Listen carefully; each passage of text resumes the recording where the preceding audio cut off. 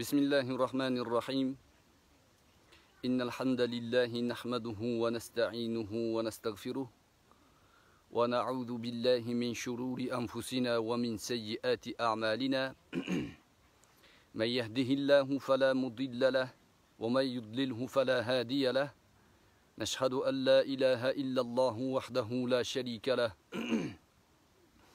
ونشهد أن محمدا عبده ورسوله. اللهم لا سهل إلا ما جعلته سهلا وأنت تجعل الحزن إذا شئت سهلا بقدرتك يا أرحم الراحمين. اللهم لا علم لنا إلا ما علمتنا إنك أنت العليم الحكيم. اللهم لا فهم لنا إلا ما فهمتنا إنك أنت الجواد الكريم. أما بعد السلام عليكم ورحمة الله وبركاته. Bugün milodiy sana bilan ilk kuzning birinchi kuni vodiydaman sovuq tushdi nimagadir biz tomonlarda. Oftob bor lekin tongda va kechki paytlari sovuq bo'lyapti. Bog'imizdamiz olmazor ichida o'tiribman. Bugun mavzu imkon qadar munosabat mavzusidan tashqari biroz tahlilga ham kirishish rejam bor. Hammaga ma'lum bo'lgan e, so'z erkinligini bo'g'ish degan e, heshtek ostidagi bo'layotgan jarayonlarga biroz o'zimni munosabatlarimni bildirmoqchiman. Bugun ko'proq e, harakat qilaman shaxslar to'g'risida gapirishlikka.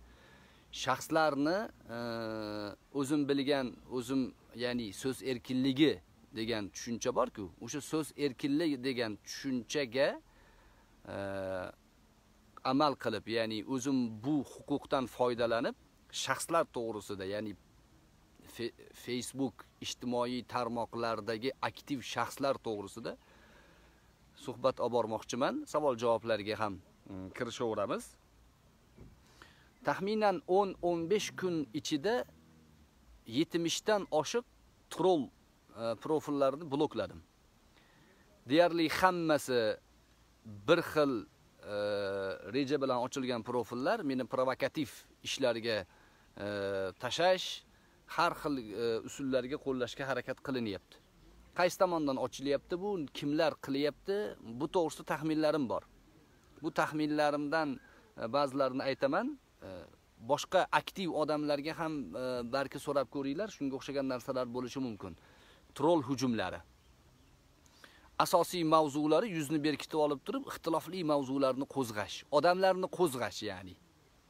Odamlar qo'zg'alsa, odamlar o'rtasida ko'proq janjal bo'lsa, tortishuv bo'lsa, tanqid ma'nosini e, bayroq qilib olib turib, xohlagan gapini gapirsa va bu qurol, bu e, qarmoq ostida e, juda ko'p ishlarni amalga oshirish ehtimoli bor. Trolling ishlaridan e, bittasi shu. 70 ga yaqin men hammasini screenshot qilib qo'ydim. Bir xil trollar.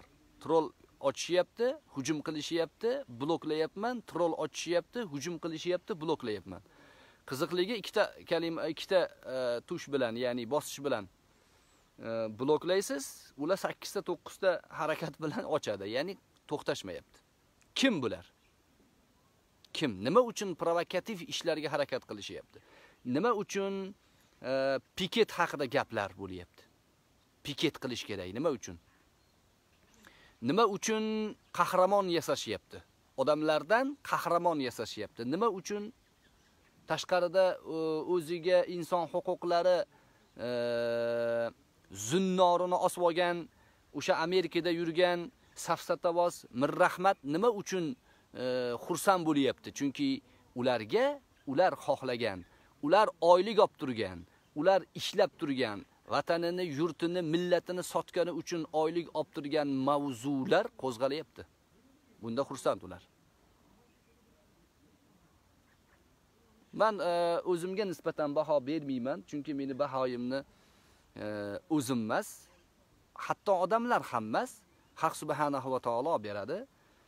lekin meni gapimni eshitib e, meni gapimga ya'ni aytayotgan gapim shaxsiy gapimga emas ba'zi tajribalarimdan kelib chiqib ba'zi e, asoslarga suyanib aytayotgan gapimni olaman degan birodarlarimga tavsiyam provokativ usullarga aynan shu kunlarda ehtiyot bo'lish kerak provokatsiyalarga juda qattiq e'tibor berish kerak ehtiyot bo'lish kerak. Chunki o'zbekiston e, ko'zga ko'rinarli darajada rivojlanish trendiga chiqyapti. Ko'zga ko'rinarli darajada. Bu o'zbekistonni ko'zga ko'rinarli darajada rivojlanish siyosati hammani xursand qilmaydi. Xususan o'zbekistonga muxolif bo'lgan kuchlarni hech qachon xursand qilmaydi. O'zbekiston rivojlanmasligi kerak muxoliflarni nazdida. Muxoliflar o'zbekistonni rivojlanishligini xaspo'shlash kerak. Nima qilib bo'lsa ham? O'zbekistonda bir e, jinoyat bo'lsa o'sha jinoyatni ustidan hech qanaqa ish qilib bo'lmaslik kerak muxoliflarni nazdida. Xo'p, shaxslar to'g'risida to'xtalaman dedim. Shaxslar e, musannif Adham, yana e, Ziyovuddin Rahim birodarimiz, yana Otabek familiyasi nima edi uni? Otabek degan bola ekan, xullas. Bu uchta shaxs to'g'risida musannif Adham bilan ko'rishmaganman, yozishganman. E, turli xil bahslar, munozaralar bo'lgan u bilan. Ziyovuddin Rahim bilan ko'rishganman, ko'rishib gaplashganman. Ziyoli inson, u bilan ham ba'zi suhbatlarimiz bo'lgan. Xususan Sheyx hazratlari rahimahullohning e, iqtibos to'g'risidagi matnlarini tanqid qilib chiqqan paytida unga men yozganman, ya'ni bahslar shu ma'noda bo'lgan. Nomini aytmasdan turib, e, hazratga bunaqa qilyapsiz, hazratning asoslari bor boshqa degan gaplar bilan bahslashganmiz. Yuzma-yuz ko'rishib gaplashganman Anvar qorakani oldilarida. U kishi Anvar qorakandan duo olgani borgan edi. Menimcha qaysidir kitoblariga e, duo olgani yoki dastxat olgani shunga o'xshagan narsaga borganda meni bilishimcha. O'sha joyda ko'rishgandim Minor masjidida. Otabek e, Usmonov deb yozishyapti. Otabek Usmonovni tanimas ekanman, balki yozishgandirman, men eslolmayapman. U bolani tanimas ekanman. Bulardan e, hozirgi kunda man ijtimoiy tarmoqda kuzatgan xulosalarimga ko'ra bular olingan 15 sutkaga e, rasmiylashtirilgan. Nima asosda rasmiylashtirilganidan ham e, bayonot berishyapti. Ya'ni militsiya xodimlariga bo'ysunmagan, boshqa-boshqa asoslar bilan. Bular 15 sutkaga olishyapti. Endi ijtimoiy tarmoqlarda e, mana shu voqeadan oylik olib ishlaydigan Mirrahmatga o'xshaganlar semiryapti. Xursand. Xursand chunki vazifa boshladi. Ularning vazifasi chiqdi. Meni gapimga quloq solishi solaman degan birodarlarimga aytamanki, provokatorlarning enasi Mirrahmat. Enasi shu. Bo'g'oz u tug'adi. Atrofiga hamma trollarni shu tug'adi. Ya'ni hamma demayin, aksarni shu tug'adi. Rahim turdi, provokatorlarni eng e, hamjinsi, ya'ni shu darajadagi inson. Endi bu Rahim Turdiga o'xshagan provokatorlarni shayxi sifatida men Musannif Adhamni bilardim. Musannif Adham Ziyovuddin Rahim, Otabek Usmonovga o'xshagan birodarlarimiz, musulmonlar bular. esdan chiqarmaylik. Bir munosabat bildirayotganda ularni musulmonligini esdan chiqarmaylik. Bu birodarlarimizga men o'zimni pozitsiyamni aytay. Har doim, har doim bular va bundan boshqalar, hatto Rahim Turdiga o'xshagan iflos jirkanch odamga nisbatan ham e, noqonuniy zulm bo'lishligiga qarshiman. Meni e, pozitsiyam har bir insonning o'zini siyosiy pozitsiyasi bo'ladi. Meni pozitsiyam shu. Kim bo'lishdan qat'iy nazar zulmga, kim bo'lishdan qat'iy nazar repressiyaga qarshiman. Bu meni birinchi birlamchi pozitsiyam. Lekin biz shaxslar haqida gaplashar ekanmiz, millatni esdan chiqarmasligimiz kerak, ummatning manfaatlarini esdan chiqarmasligimiz kerak va e, maqosidlar xalq uchun foydali bo'lgan umum bashariy, ya'ni global mavzularni ham esdan chiqarmasligimiz kerak. Xo'p, bularni men qaytadan aytaman, noqonuniy agar bularga repressiya usuliga o'xshagan, zulmga o'xshagan narsalar farazan bo'lsa, qarshiman bunga. Lekin ijtimoiy tarmoqdagi o'zbek segmentida asosan muxolif ko'rinib olib, bo'layotgan siyosiy ijtimoiy e, rivojlanish islohotlarga sabatash usuli bilan qarshi chiqayotganlarning shayxi edi musannif Adham. Unga najot bersin Alloh taolo. Ya'ni fikrlari ummatning manfaati uchun o'zgarsin. O'zicha Rahim Turdiga o'xshagan dahriy parastlikka moyil bo'ladigan odamlarni tarbiya qilishlikdan to'xtasin. Muxolif tashqaridan, ya'ni o'zbek siyosatida, o'zbek ijtimoiy ahvolida rivojlanishlarga ko'rolmay turgan bu vaziyatlarni iloji boricha izdan chiqarishga harakat qilayotgan muxolif kuchlarning fikrlarini ichkarida tarqatishlikdan tavba qilsin. Meni umidlarim bu. Va musulmonlar uchun foydali ishlarga qo'l ursin. Musannif Adham musannif Adham bu meni gaplarim e, erkin fikrga foydalanib gapiryapman. Men ham gapirishga haqqim bor. Erkin fikr gapirishga haqqim bor. Musannif Adham to'g'risidagi fikrlarim har doim ochiq bo'lgan, har doim mendan so'raganlarga aytganman, har doim bu fikrlarimni isboti uchun yuzma-yuz ko'rishlikka taklif qilganman. Musannif Adham o'zbek segmenti orasida erkin fikrlilik bahonasida bo'layotgan yaxshi ishlarning oyog'iga bolta uradigan odamlarni tarbiyalab beruvchi, qo'shtirno ichida ularga fatvo beruvchi bola edi. Bola. Ya'ni bola edi deb o'tgan zamonda gapirmay, gapirib odamlarni cho'chitmayin. O'shnaqa bola u. Rahim Turdini shu tarbiya qilgan. Shaxsan menga bo'lgan tuhmatda, ochiq bo'lgan tuhmatni isbotlay olmaganda isbotlol isboti yo'q narsani tuhmat qiladi bular. Rahim turdi, ko'rdik Rahim turdini kimligini.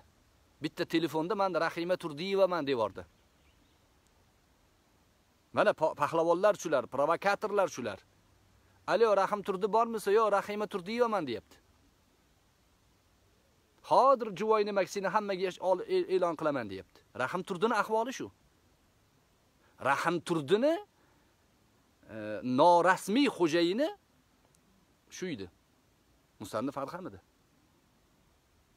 Menga bo'lgan tuhmat, shaxsan menga qilingan tuhmatni, odamlar ichidagi bo'lgan tuhmatni, "O'y, sen tuhmat qilmagin" demasdan, "Ha, yana bitta quloq ushladingizmi? Abror quloqini ushladingizmi kecha? Bugun yana bittasini ushladingizmi?" deb orqasidan gaz beryapti Rahim Turdiga. Musannif Adham. O'zidan so'rayapman, "O, Musannif Adham, Xudodan qo'rqasanmi? Allohdan qo'rqasanmi? Bu qilayotgan tuhmatini nimaga menga yopishtiryapsan?" Desam, "E, okay, men unaqaman, manaqaman" dedi, bloklab qochgan. O'sha bu yo'q. Necha marta aytdim, bunga 1 yil, 2 yil bo'lyapti. Mavzu provokatorlar. Provokatorlardan ehtiyot bo'lish kerak. Provokatorlarning yuzi beklari bor, yuzi ochiqlari bor. Tashqarida yurgan provokatorlarning enasi Mirrahmat. Meni taxminim bo'yicha Mirrahmat pulga ishlaydi. Va bunday voqea hodisalarni kutib yashaydi. Chunki boshqa saviya yo'q. Musulmonlar uchun manfaatlik birorta ishi yo'q. Oddiy mavzularda, ya'ni avlaviyat tushunchalarida ba'zi narsalarda musulmonlar chekinish kerak bo'lgan, ba'zi narsalarda ikki qadam oldinga tashlash kerak bo'lgan mavzularda provokatsiya qiladi. Men bitta misol keltiray. Faraz qiling, sizni bir katta yeringiz bor. Juda katta yeringiz bor. Bunga Sizga kartoshka ektirishmayapti, pomidor ektirishmayapti. Faqat paxta ekasan deyishyapti. Paxta ekasan, faqat paxta ekasan deyapti. Bir qancha muddat yeringizga paxta ekaverib joningizga tegdi. Oxiri oxiri sizga ruxsat berishdi. Bo'pti, siz xohlagan narsangizni eking dedi. Siz narsalaringizni endi o'zingizga kerakli bo'lgan paxtadan tashqari kartoshka ekyapsiz, bog' qilyapsiz, o'zingiz uchun manfaatli narsalarni qilishni boshlaganingizda musannif Adaham kelib turib e, sizga aytyaptiki, bu agatni, ya'ni mm, noto'g'ri olyapsan, araqni qiyshiq olyapsan, e, san nimaga bunaqa qilyapsan? San zolimlarga xizmat qilyapsan degan trollar bilan sizni endigi dehqonchiligingizga zarar yetkazyapti. Xuddi shu hodisa bo'lyapti. Yana qaytib aytaman, yangi kirgan birodarlarga, meni pozitsiyam nohaq qamalish, repressiyalarga qarshiman. Meni pozitsiyam musannif Adham bo'ladimi, Ziyovuddin Rahim bo'ladimi yoki bu Otabek Usmonovmi, bularni nohaqdan qamalishligiga qarshiman. Lekin ularni bo'yniga haqiqatda qilgan aybi qo'yilgan bo'lsa, bu ayblarni hali ochiq oydin ko'rmasdan, ochiq oydin bilmasdan turib, provokatorlarga qo'shilmasligimiz kerak. Provokatsiya qilishyapti. Bu usullar, bu o'yinlar har doim bo'lgan o'yinlar. Musannif Adhamni hali ham aytaman, hozir tavba qilgandir.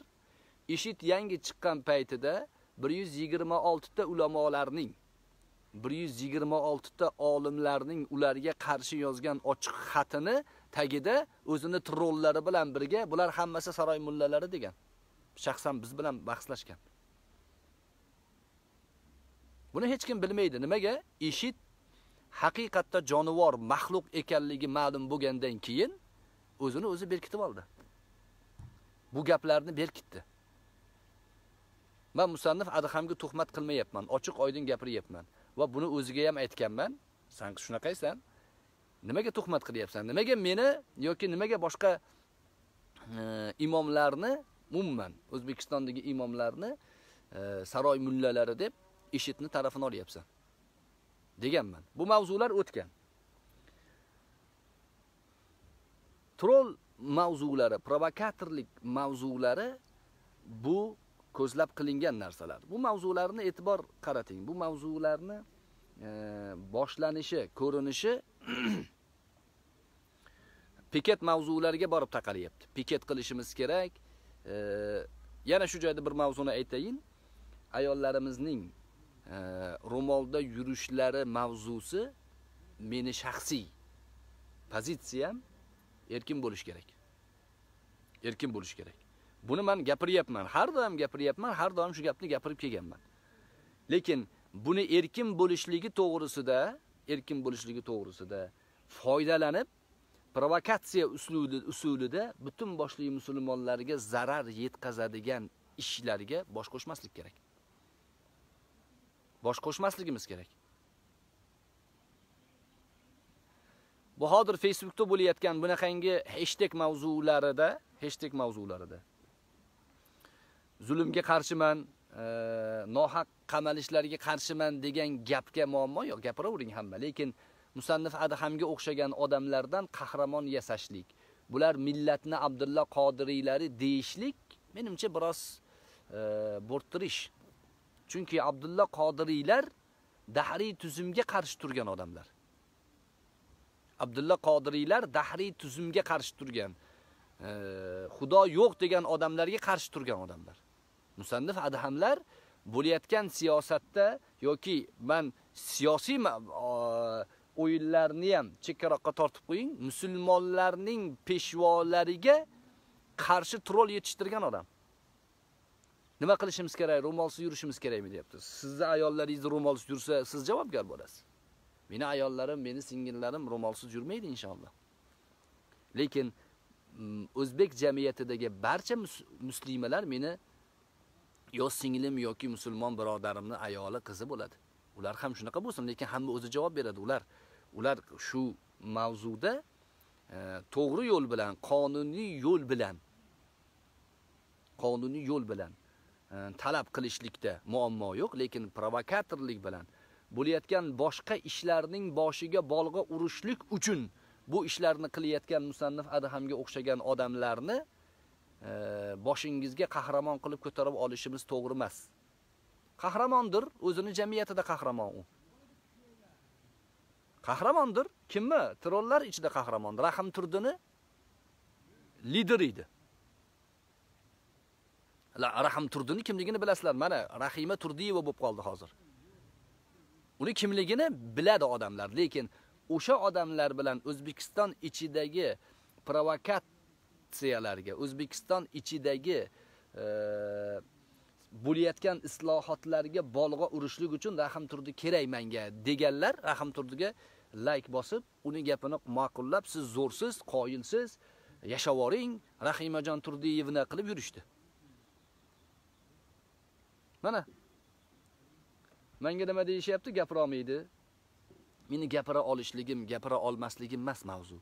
Mavzu musulmon ummatining, o'zbek millatining kelajagi yaxshi yo'lga, to'g'ri yo'lga yurish kerak. Buni uchun provokatorlardan ehtiyot bo'lishimiz kerak. Provokatorlarning enasi Amerikada o'tiribdi. Mirrahmat. U uni atrofida yurgan odamlar ko'zinglarni ochinglar, muxolif ko'rinimlik xoin odamlar, muxolif ko'rinishdagi xoin odamlar. Musannif Adham, Musannif Adham shularning fatvo go'yiydi. Musulmon birodar to'g'risida, musulmon shaxs to'g'risida birodarim u gap bo'lishi mumkin emas. Men har doim duo qilaman. Bunga boshiga tushgan musibat to'g'risida Alloh najot bersin deb duo qildim. Hozir ham duo qilaman. Duodan hech musulmonlar qo'lini tortmasin. Alloh taolo najot bersin. lekin najotki musulmonlarga foydali fikr ham bersin. Qilayotgan ishlarida e, men bir gapni gapirsam, ertaga musulmonlarga foydami bu, zararmi bu degan mavzuni ham o'ylasin. Biz ham o'ylaylik atrofimizdagilar. Kimdir gapirish kerak, gapiryapti hamma. Gapirish kerak, piket qilishimiz kerak, falon joyi portlatishimiz kerak, piston joyi ag'darishimiz kerak degan provokatsiya qilmaslik kerak. Men sizga bitta misol aytaman. Nasrulloh Mahmud Xanov siyosatni yaxshi o'rgansangiz, yaxshi tushunsangiz, bizni mentalitimiz, mentalitetimiz, ya'ni bizni tushunchalarimiz turkiy tushunchalar, ya'ni o'zbek turkiy zabon e, millatmiz. Xuddi shu bizda hozirgi bo'lib o'tgan bo'lib o'tayotgan siyosiy jarayonlar Turkiyada bundan 20 yil, 30 yil oldin bo'lgan. Shundoq YouTube YouTube'ga kirasizda Danishtay basqini deb yozasiz. Danishtay basqini. Danishtay basqini degani xuddi Turkiyada ro'molga qarshi qonun chiqarishgan. Ro'molga qarshi qonun chiqarib, iqtidorda islohot olib borayotgan shu e, Erdo'g'on, Rajab Tayyib Erdo'g'on oq partiya hukumatini e, provokatsiya qilib, xalqni qo'zg'ab, xalqni unga qarshi oyoqqa turg'izishlik uchun JHP generallar bilan, generallar bilan hmm, til biriktirib, ro'molga qarshi qonun chiqartirib, ro'molga qarshi qonun chiqarganing uchun deb Jumhuriyat gazetasiga bomba otishgan. Bomba, ikkita bomba otishgan. Bittasi portlagan, bittasi portlamay qolgan. advokatlarni Danishtay degan e, qurumi bor. Danishtayga kirib e, kim edi oti? Alp Arslan Arslan degan bola, advokat bola. Pistoletda borib turib 8 ta odam otib tashagan. Bittasimi ikkitasi o'lgan, qolganlar yarador bo'lgan. Va bu ishimni ro'molga qarshi chiqqanlaring uchun qilyapmiz degan. Shu bilan Erganakon da'vosi boshlagan. Erganakon da'vosi bor, to'xtadi. o'sha e, hodisa qanday bo'lgan? Vali Kuchuk degan general bor. Bu ana bu Polatni kinosida Iskandar Buyuk degan hmm, rolni hayotdagi ko'rinishi. Vali Kuchuk. Bu general odam, harbiy odam. Bu e, keyin Muzaffar Tekin degan odam bor. Bu ham harbiy odam. E, Polatni kinosida Zafar Zafar nomi bilan u o'rmonda e, harbiylarni shug'ullantirgan odam. Shular bo'layotgan Turkiyadagi islohotlarni oldini olishlik uchun xalqni provokatsiyaga keltirishlik uchun bunaqa ishlarni amalga oshirishgan. Portlashlar qilishgan, e, kirib bosishgan. Bizda yo'q haqiqatda. Portlashlar alhamdulillah buni to'xtab qilmayapti, lekin e, odamlarning fikrlaridagi portlashlarga pilik yondirayotgan, o't yondirayotgan odamlardan ehtiyot bo'lishimiz kerak. Omma sifatida ehtiyot bo'lishimiz kerak. O'zimizni imomlarimizga, o'zimizni peshvolarimizga ergashishimiz kerak.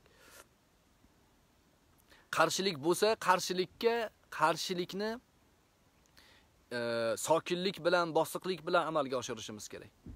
Bu provokatsiya, piket qilishimiz kerak, uriqit qilishimiz kerak degan narsalarga hech qachon, hech qachon e, tushib qolmasligimiz kerak. Bular tuzoq. Bu e, mir rahmatlar hammasi tuzoq, rahm turdilar tuzoq, musannif adhamlar tuzoq. Bularning atrofidagi musulmonlarga zarar yetib qolishligi ehtimoli bor. Ehtiyot bo'ling musulmon birodarim. Men ogohlantiryapman buni. Nima ma'noda ogohlantiryapman? Bo'lgan ishlardan xulosa sifatida ogohlantiryapman. Terror bahonasida musulmonlarga qarshi provokatsiya qilishyapti-yu, o'sha terrorga odamlarni qo'liga qurol berib, yosh bolalarni, musulmonlarni ottirib, mana musulmonlar deb urushishyapti. Shuni ko'rinishlari butun dunyodagi siyosatning usullari bir xil.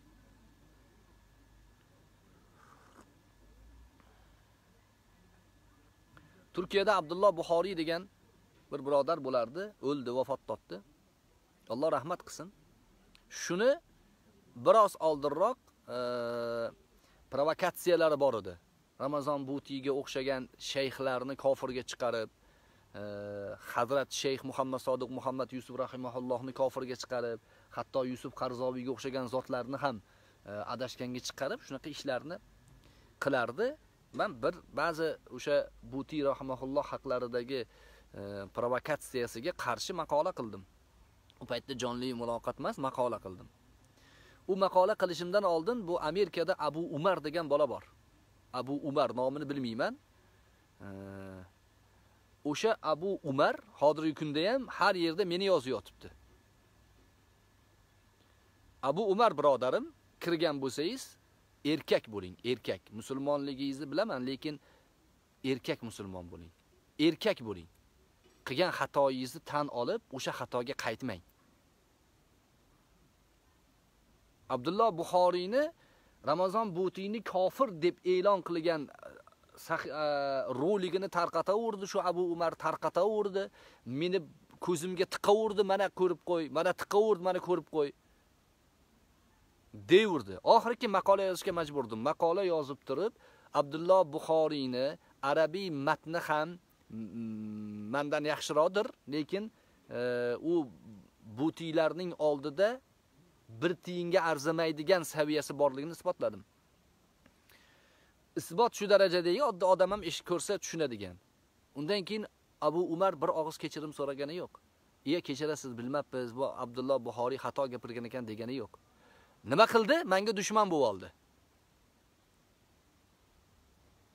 Taassubda shuni aytadi, mutaassiblik shu, o'y, haqqa qayt" deyapman men. Haqqa qaytgin deyapman. Ramazon Butiyni gaplari butun boshli Suriyada shunaqa provokatsiyaga uchmanglar edi. Men hech qachon aytmayman bizga Suriya kerakmi, bizga Liviya kerakmi, bizga u kerakmi degan mavzuni hozir gapirmayman. Bir paytlar gapirgan bo'lsam ham hozir gapirmayman. O'tni hamma tushunib bo'ldi, lekin unga boradigan yo'llar, o'sha joyga olib boradigan odamlarda shunday qon qaynatadigan, ko'ziga qon to'ldiradigan usullar Mana shu usullar shundan boshlanadi. Mana shu rahmatlardan boshlanadi. rahmatlarga tashqarida turibsan, qoyilsan, kel senga bir narsa beray deyiladi. Bos gazni deyiladi. Ichkaridan shu rahim turdularni e, qoyilsan, bos bos deyishadi. Rahim turdi deb adashibman, Rahima Turdiyevna.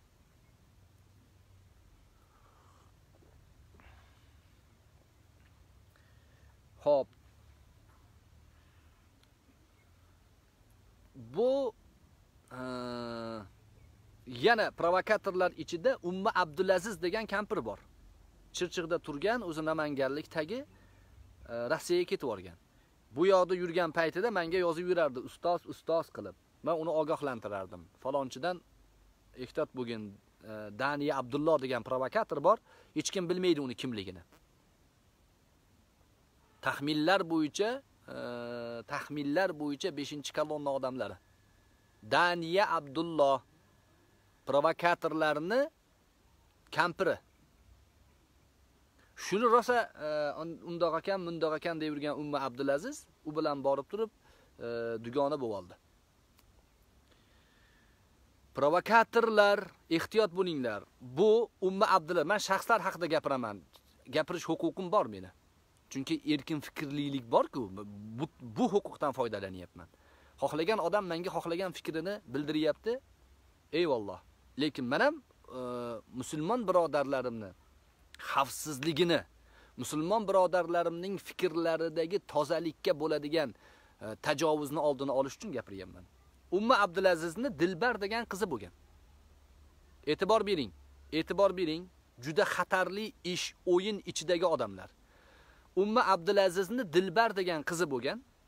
Dilbar degan qizini Turkiyadagi, Turkiyadagi Abu Zaynab degan bolaga Skype orqali nikohlagan. Nikohlattirgan nikohni vallohu alam Abdulloh Buxoriy o'qigan. Bugun mavzu shaxslar haqida. Keyin bir oy yurishgan, ikki oy yurishgan o'zaro er-xotin munosabati bilan hali ko'rishmagan. Bittasi o'sha Rossiyada, bittasi Turkiyada. Faqat e, nikohlangan xolos. O'yinlar haqida gapiryapman, birodarim, ko'zingizni oching. Shu bilan e, endi qaynana u Abu Zaynabga. Ko'zda qaynana. Narigi xotinlaringizni rasm, narigi ayollaringizni ham rasmini jo'nating, ularni ham e, bir ko'rayin, omonat Alloh uchun ko'rayin degan. Ikkitami, bittami ayoli bor ekan, shularni rasmini jo'natgan. Rasmini jo'natgandan keyin u rasmdagi ayollar O'zbekistonda bundan 10 yilmi, 5 yilmi oldin qidiruvga e'lon qilingan.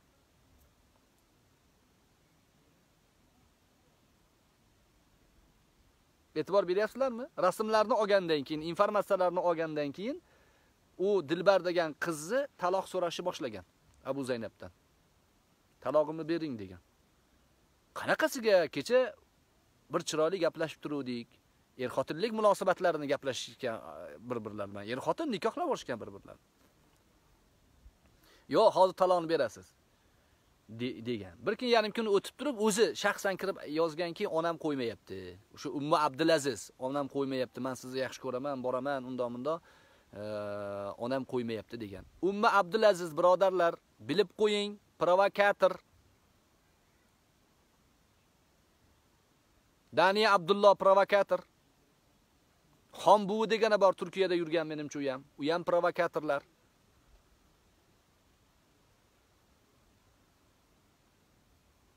Bu e, kim edi?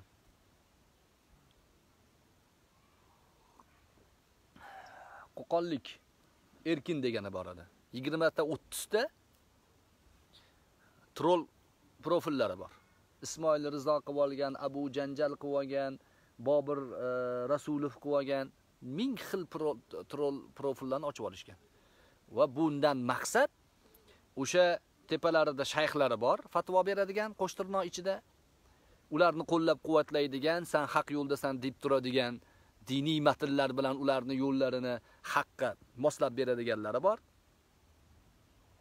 G'irt shallaqalar Rahim Turdiga o'xshagan tashqarida turib olib, e, xohlagancha e, musulmonlarga nisbatan zarar bo'lishi mumkin bo'lgan e, ishlarga bosh uradiganlar bor. Birodarlarimiz, ko'zimizni ochaylik. Musannif Adhamga Alloh najot bersin. Ziyovuddin Rahimga ham najot bersin. Qilgan xatosi bo'lsa, Alloh taolo xatolarni kechirsin. Ya'ni Musannif Adham deganda mutlaq e, sutdan chiqqan qoshiqni mutlaq ma'sum odamni tushunmaymiz, xatolari bor edi.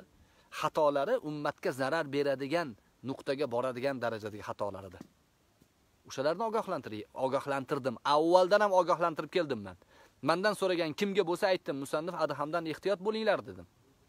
O'sha provokatorlarning enasiga beradigan fatvosi shu. Shu fatvo fatvo go'riydi shu. Dedim. Hozir ham aytaman shu gapni. Hammasini emas, Anvar Navvar, hammasini aytmayapman. Provokatorlarga shayx edi bu. man bu bunga havas qilib, buni o'ziga shayx qilib olgan bolalar bilan yuzma-yuz gaplashganman. Saviya nol odamlar. Nol odamlar.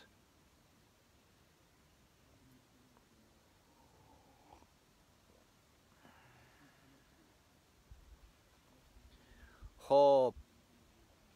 Ehtiyot bo'lishimiz kerak. Najot bersin ularga, lekin biz atrofidagi odamlar, musulmonlar, xususan ziyoli insonlar ko'zlarimizni ochishimiz kerak. Haqni gapirishlik qiyin bo'lgan davrlarda ham gapiradigan e, qatlam gapirish kerak. Bunga gap bo'lishi mumkin emas. Lekin haqni gapiryapman degan ma'noda juda katta haqiqatlarga zarar berishlikdan ehtiyot bo'lishimiz kerak. Buni qanday ajratamiz? Biz peshvolarimizga ergashib ajratamiz. Kim bo'lsa, e, betayin, notayin odamlarga ergashib barchaga zarar beradigan ishlarga qo'l urmasligimiz kerak. Xulosa. Musannif Adham e, Ziyovuddin Rahim, Otabek Usmonovga o'xshagan e, blogerlarga Alloh najot bersin va fikrlarini men e, e, musannifdan narigilarni fikrlarini juda chuqur bilmayman. Fikrlarini musulmonlar uchun foydali tarafga o'zgarishligiga Alloh taolo yordam bersin. Meni shaxsiy tushuncham, shaxsiy tilaklarim shundan iborat. Ularga nisbatan zulm to'xtatilsin. Zulmga men ham qarshiman. E, bo'layotgan islohotlarda bizni e, millatimiz ichidagi bo'layotgan islohotlarda provokatorlarning o'yinlariga o'ynab qolishdan ehtiyot bo'lishimiz kerak. Xususan Amerikada yurgan Mirrahmatdan juda ham ehtiyot bo'linglar. Mirrahmat Toshkentda yurgan paytida yaqin odamlarini sotganligini guvohlari bor. Yaqin odamlarini. Umid nixollariga aloqasi bor edi menimcha buni. Yaqin odamlarini sotgan avvalgi vaqtida. Men o'zimni gapim emas, yaqin odamlarini gapi, shu yerda yurgan odamlarning gapi. Men meni tanishligini aytadi u. Bir paytlar ko'rganman, bilganman deydi, lekin men tanimayman uni. Chunki o'sha e, doirada taniqli odam bo'lmagan bu. Taniqli odamlar gapini eshitadigan, unga quloq soladigan odam bo'lmagan. Buni bu e, ba'zi birodarlar falon joyga olib borib kel desa, olib borib keladigan shopir bo'lgan. Men taxminim bo'yicha, chunki ko'zga ko'rinmagan bu odam. Lekin o'shalarning ichida e, o'zining yaqinlarini ichida sizlar nimaga qamamayapti? Men hammanglarni sotib berdimki degan gaplarini qulog'i bilan eshitgan odam menga aytib beryapti. Ehtiyot bo'linglar, ko'zinglarni ochinglar, qilayotgan ishlarining hamma hamma hammasi provokatsiya bo'lish ehtimoli ko'p. Mir rahmatni ogohlantirib qo'yay. Rahim turdi, u Rahima Turdiyeva bo'lib qoldi o'sha. Uni u ma'lum edi buni kimligi.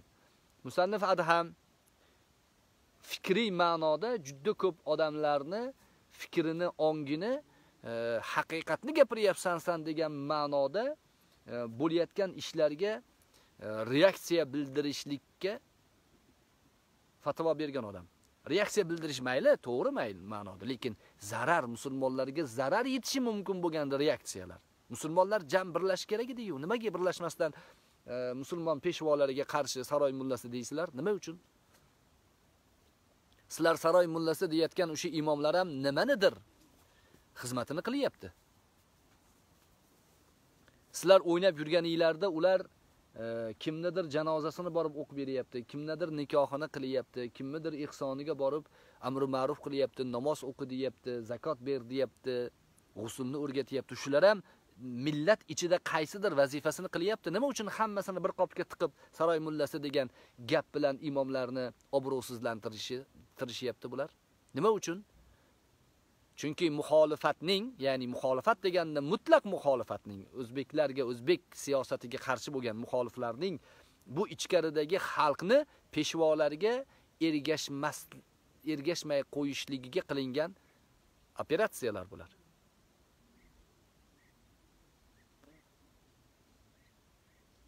Shu narsalarga ehtiyot bo'lish kerak. Endi savol-javoblarga o'tamiz, birodarlar. E, biz ochiqmiz, mavzularimiz ochiq har doim. Savollarga harakat qilamiz.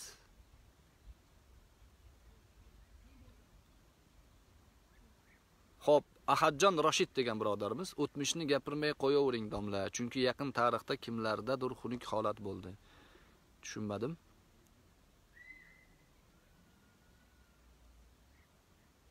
Birodarlar, e, yuzi yo'q provokatorlarning gaplariga, yuzi yo'q provokatorlarning gaplariga e'tibor bermanglar. Men aytyapman provokatorlik hujumi bor hozirgi kunda. 70 ga yaqin e, o'sha trollik blokladim men. 70 ga yaqin. qasddan ataylab qilishyapti bu ishlarni. Ehtiyot bo'lasizlar. Hozir bizni ham sahifamizga trollar kirishi mumkin. Ulardan ham ehtiyot bo'linglar. Yahyo Zubayr, Sirojiddin Muhammad haqida bilgingiz bormi? Iltimos, ma'lumot berib. Shu musannif Adham akalar bilan bir xil faoliyat yuritadi. Meni bahoyim siz ham aytsangiz debdilar. Sirojiddin Muhammad bir yosh bola, aqli uncha rivojlanmay qolgan bola, o'sha tanqid degan narsani ko'rsa, e, bitta wow deb qo'yishlikni biladi xolos. Unaqa saviyasi baland bola emas. Ularni e'tibor ma'nosida, musulmon ma'nosida hurmat qilaverasiz. E'tibor ma'nosida gap gaplari e'tiborlik bolalar emas. Sirojiddin Muhammad unaqa e'tibor gapiga e'tibor bilan tikilib, eshitib bir ergashlikka loyiq bolalar emas.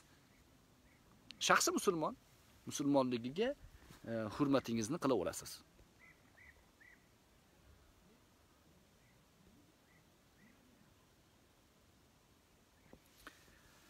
Leyla Yunusova degan e, singlimiz yo'q opamiz aytibdilar. Domla sizni nazaringizda siz kabi dinni to'g'ri talqin qiladigan yana kimlarni tavsiya qila olasiz debdilar. Men mm, o'zimga baho bermayman dedim.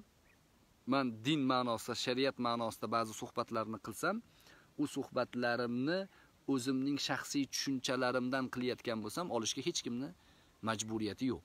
Lekin ustozlarimdan o'rgangan din shariatni tarqatishlikka gapirsam, ular shariatning um, maqsadlari bo'ladi. Bizni o'zbek e, millatimiz ichida imomlarimiz, peshvolarimizga ergashishimiz kerak, imomlar ichidagi ulamolarga ergashishimiz kerak. E, xususan hozirgi kunda e, bizda e, mubashir domlamiz borlar, ahli ilmlardan. E, yana bu chetda yurgan musulmonlarimizdan, ya'ni ahli ilmlarimizdan Sayfulloh Nosir, ya'ni Mahmud Usmon degan ahli ilm kishilar bor. Shular mm, o'ta mo'tadil va shariatni maqsadlarida shaxsiy adovatdan ustun qo'yadigan odamlar. shularga ergashish kerak. Hmm. O'zbeklar ichida Salohiddin domla borlar. Salohiddin domlamiz hozirgi kundagi eng peshvo ahli ilmlardan. Yana fatvo bo'limida e, faoliyat yuritadigan odamlarimiz bor. Zikr ahlidan so'rang mm, bor. Mana shular haqiqiy ishonchli e, millatni ichidagi dardini tushunib, fatvoni ichidan turib beradiganlar. tashqarida yurgan tuzumlar, tashqarida shakllangan jamiyatlarda qandaydir kadar bor, qandaydir e, shubha bo'ladi.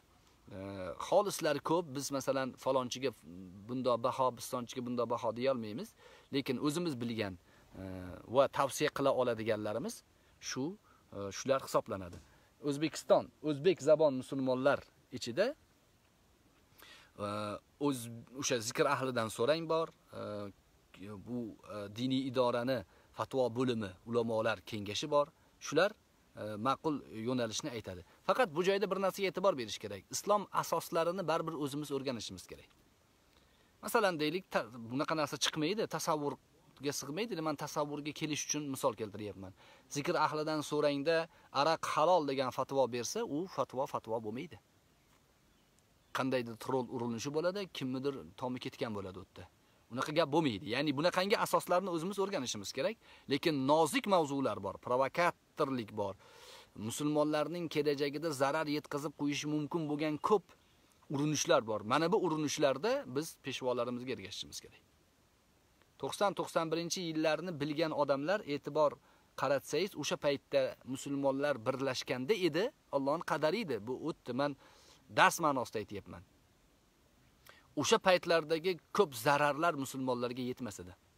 Odamlar 20 yillab, 15 yillab turmalarda nohaqlarcha o'tirmas edi. Nohaq haq bilan, ya'ni.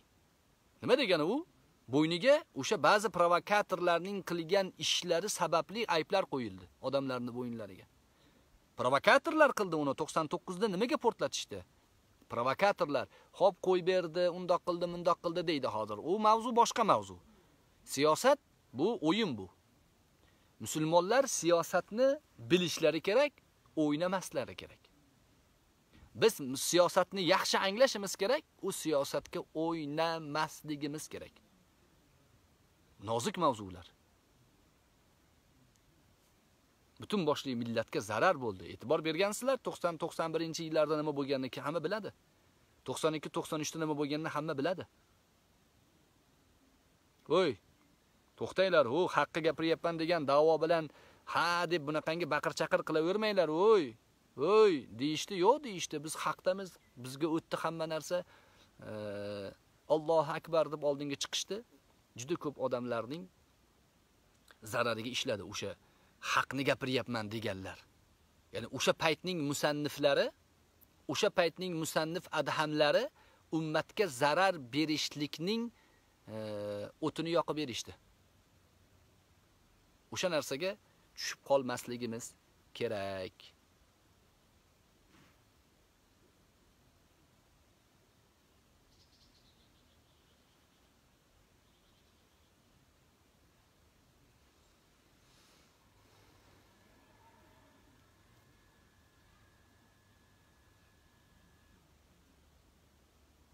Xo'p.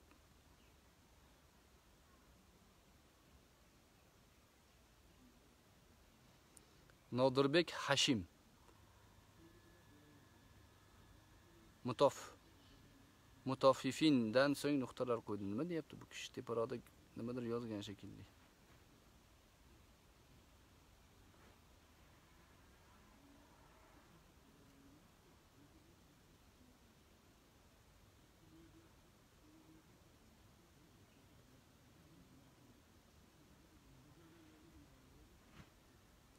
Abdulloh Rahmonberdiyev agar sizning boshingizga shunaqa muammo tushganida ular siz haqingizda bunaqa gaplar gapirmasdi. Men yomon gap gapirmayapman. Men aytayapman, ularning boshiga tushgan musibatlarga sherikman.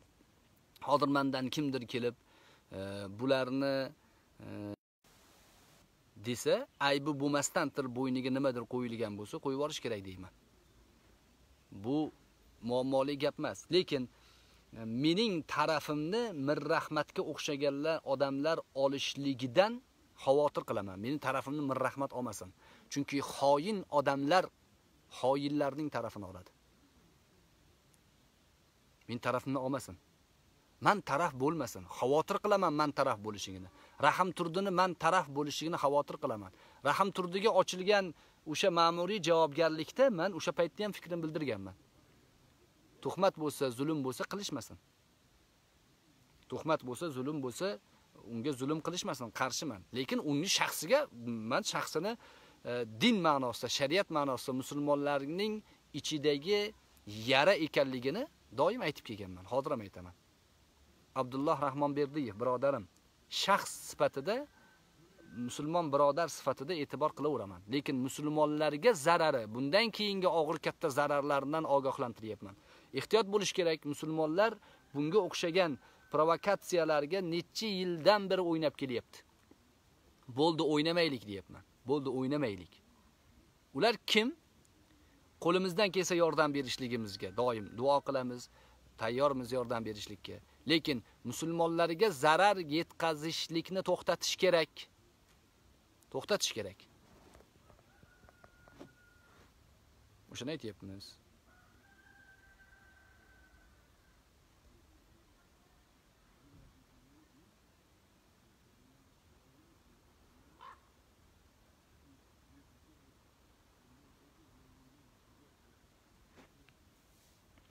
Nodirbek Hashim nima keragi bor hammani har xil laqablar bilan laqablab.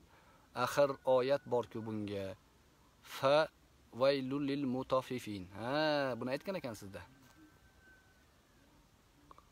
Tuyaga nimaga bo'yning qiyshiq desa, o'zi qayerim to'g'ri degan ekan. Nodirbek Hashim bu vaylul lil mutaffifin u laqab haqida emas u, tarozi haqida. Va man laqab qo'yish ma'nosini E, bu joyga birinchi planga chiqarmang. Laqab ma'nosi e, huda behudaga ustidan kulish uchun bo'ladi. Lekin odamlarni tanitish uchun, falonchi, pistonchi deb tanitish uchun e, dalillar bor. Payg'ambarimiz sollallohu alayhi vasallam havorijlarni jahannam itlari dedilar. Qadariylarni ummatning majusiylari dedilar. Qur'oni Karimda Alloh taolo e, ba'zi munofiq mushriklarni itga o'xshatdi, tilini osiltirib turadigan it dedi. Ularni tanitish, ularni zarbul masal qilishlik uchun islom ummatiga foydalik o'rinlarda ijozatlar bor.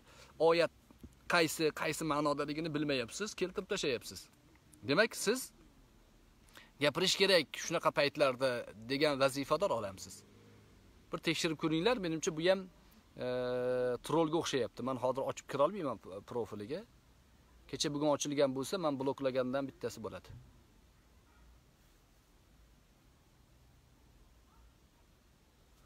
Anvar Navvar. Men aytayotgan provokatorlarning hammasini boshlig'i etib Musanov Adhamni aytmang domla deyaptilar. Boshliq bular boshliq ma'nosida emas, fatvoni shundan olishadi. Fatvoni shunga shu, ya'ni fatvo go'yi shular. Masalan, e, o'ta xunuk tuhmatlarni qilsa indamay turib oladi. Haqoratlar, har xil gaplar bo'lsa, e, orqasidan puflaydi. Ha, deydi. Men 2 yil 3 yil oldin aytganman o rahim turdini noto'g'ri puflayapsan o musannif. Noto'g'ri qilyapsan shu ketishida dahriylarga qo'shilib ketadi deganman.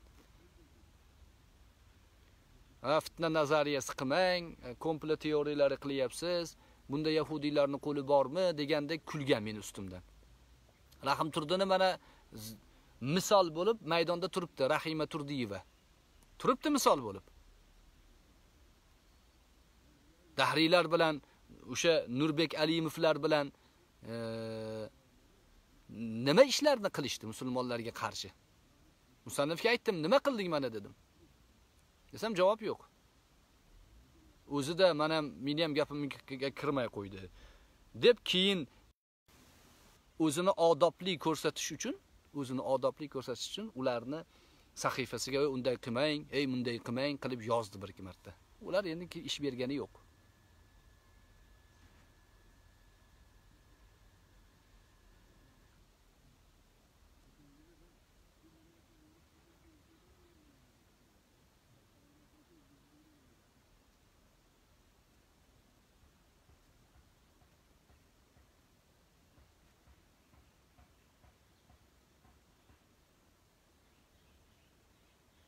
Xo'p.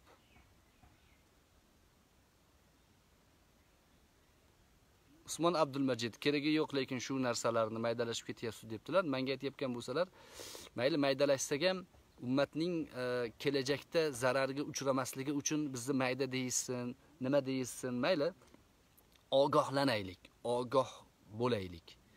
Provokatorlarning kimligini tanib qo'yaylik. Shaxslarning kimligini bilib qo'yaylik. Imom Zahabiy e, bu butun boshli kitoblarida butun boshli e, Siyar A'lamun Nubala degan asarlari bor. Shaxslarni o'rganganlar. Shaxslarni, har bir shaxsning kimligini, tarixda bu kim, bu kim, bundan gap olsa bo'ladimi, buni gapini olib bo'lmaydimi? Butun boshli kitoblar. Imom Buxoriyni rijollar to'g'risida alohida Tarixul Kabir degan asarlari bor. o'sha asarlarda faqat rijollar, odamlar haqida yozganlar. Bu shaxs bundoq, bunisi bundoq, mana bunisi bundoq deb odamlarni tanishtirganlar. Shunda ba'zi odamlar xuddi hozirgiga o'xshab ta'na qilishgan Imom Buxoriyga. Shayx bu e, kitobingizda faqat g'ibat, odamlarni yomon tomonlarini aytayapsiz, yaxshi tomonlarini aytayapsiz, kitob g'ibatga to'lib ketibdi deyishganda, u kishi aytganlarki, payg'ambarimiz sollallohu alayhi vasallam e, falon qavmning eng yomon odami falonchi deb aytganlar. Odamlarni din olish yo'lida shariatga amal qilish, hayotlari, mamotlari, kelajaklari uchun foyda zarar ishlarda kimga ergashishlarini bilishlari muhim. Muhim bu, kimga ergashyapsiz? Ertaga sizni olib borib, olib borib, olib borib jarga kelganda itarib yuboradigan odamlar bo'lib chiqsachi, ergashib borgan odamlaringiz. Bundan ehtiyot bo'lish kerak. Buni shaxslarni tanitishlik uchun aytish shart. Shart biz hayotimizni kimni kimligini bilib qo'yishimiz kerak. Mayda ko'rinsa-da lekin kelajakda zararlari katta ekanligidan ogohlantirishimiz kerak. Hammani. Usmon abdulmajid birodarim.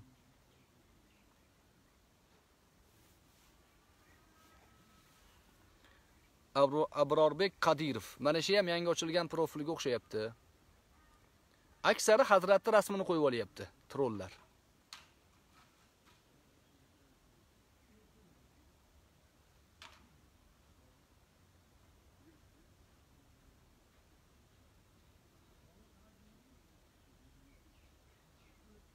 Abdulbosib to'ychiyev bu ham troll menimcha trollarga javob bermaganimiz ham ma'qul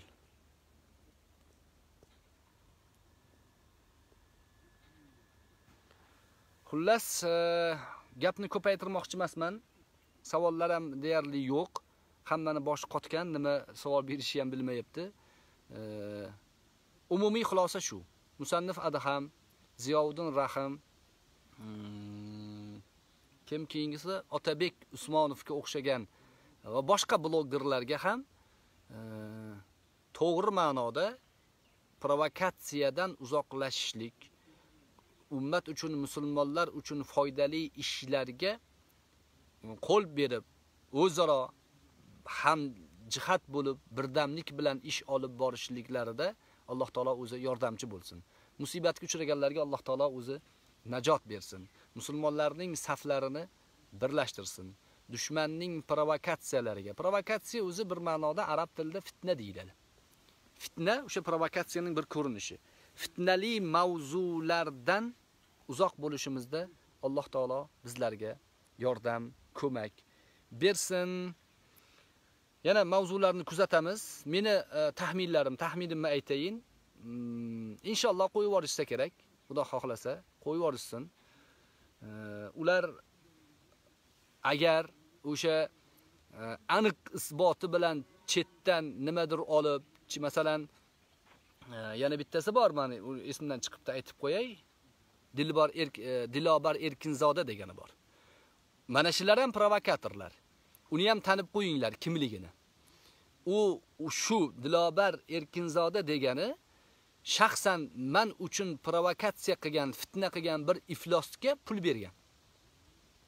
Isboti bor. Qo'liga pul berib, pul jo'natib, boshla boshla bos bos deyishgan. Jonli ifir qil, ro'molda o'rab, ro'mol bilan chiqib jonli ifir qil. Odamlarga ta'sir yaxshi bo'ladi degan. Mana shunaqangi jinoyatlarga qo'l urmagan bo'lsa, inshaalloh qo'yib yuborishadi. Inshaalloh qo'yib yuborishsin.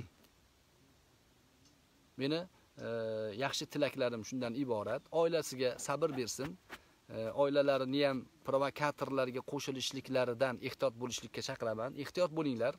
o'yin bular qurbon qilishadi. Farzandingizni, akangizni, ukangizni qurbon qilishadi va bu qurbonlik uchun tashqarida oylik olishadi. Oylik. Mana biz mana shunaqa narsa qilib qo'ydik O'zbekistonda deyishadi.